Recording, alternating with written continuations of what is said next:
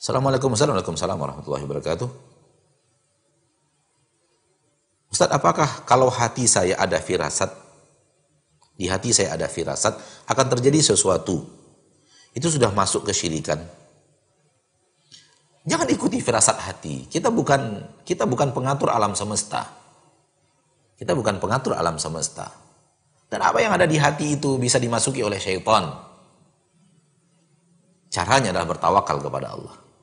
Caranya adalah memperdalam ilmu tentang takdir. Semua yang Allah inginkan pasti terjadi. Semua yang tidak diingin Allah pasti pasti tidak terjadi. Dan pengatur alam semesta hanya Allah. Kepada Anda yang seperti ini, saya nasihatkan untuk beli buku tentang takdir.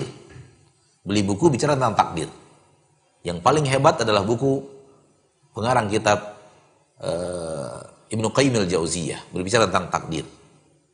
Ya, Syifaul Alil dalam bahasa Arab, namun sudah diterjemahkan dalam bahasa Indonesia. Allahu a'lam.